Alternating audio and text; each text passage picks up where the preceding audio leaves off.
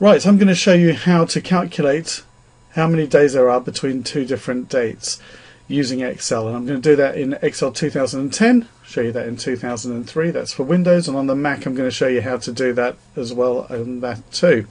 Now with all of these we're going to calculate the date from today's date to when the Olympics start in London and I'm going to do that firstly I'm going to put in the date that the Olympics starts here and I believe that is the 27th of July 2012 I could just type another date in here but I'm going to actually select it as a function.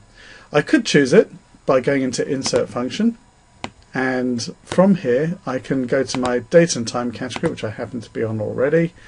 I can scroll down, find this function here called today and click on OK. When the function arguments come up there's nothing to fill in so just click on OK. There is today's date and as I've mentioned on other tutorials when you reopen this on a different date it will put that date in there automatically. That is the purpose of using the today function. I could and I'm just going to delete that in Excel 2010 and also in 2007 go to the formulas tab here which I'm already on choose date and time and it is a bit further down here so I'm just going to come down here like this so you can actually see it. And I'm going to click here and you'll see there is the today function which again does the same thing. It just inserts it. The function arguments are blank. So I click on OK. To do the calculation to work out how many days there are oh and by the way you could have just typed in the function. As you get used to the functions you could have just typed in equals today with the open and close brackets so to do the calculation between the two very simple like any formula, you'd start it by typing in equals, and this is the same in all of the Excels that I'm going to show you. Click on the Olympics date there, press minus, and then you click on today's date. I'm Going to press enter, and you can see it's 189 days between now and when the Olympics start. Well, at the time of recording this.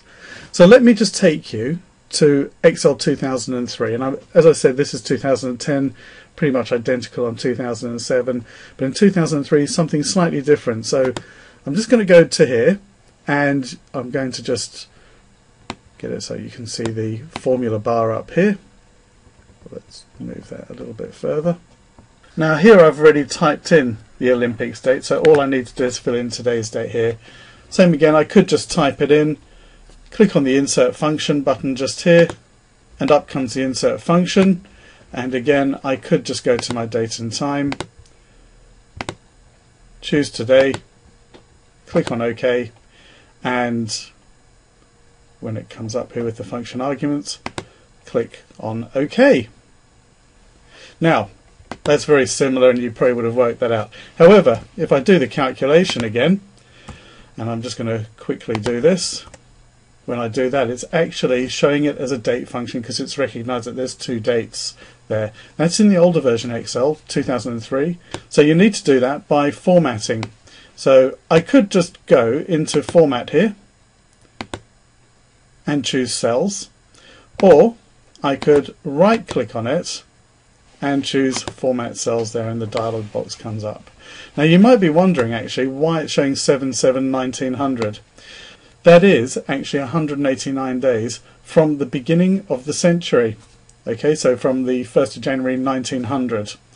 That's the last century, not this one. So that's why it's showing you that. Now, to fix this, I'm just going to click on this general at the top here, that category, and you can see as a sample it says 189. It's exactly the same if you're doing this on Excel for the Mac, if you need to fix it there as well. And I just click on OK. So that's how you do that and you can see that it would automatically change. Now if I was to overtype this and put in any other date, I'm going to put in the 1st of May 2012, you can see that date has updated automatically. Now to do this on a Mac, very similar. All you need to do now is click on the FX to bring up your formula builder and again you'll see that it's got today there, it's one of my most recently used but I could scroll down to see it in my date and time category and find it there. And on the Mac, what you need to do is double click on it. You could also search for it by going into the top there and typing it and again just double clicking when it comes up. It's not going to come up with any dialog boxes for the function so you just need to press enter. And again you just simply do your calculation. Type equals, click on the first number, press minus and click on the next and press enter. And hey presto, that is how you calculate the difference between two different dates in Excel on all the different versions.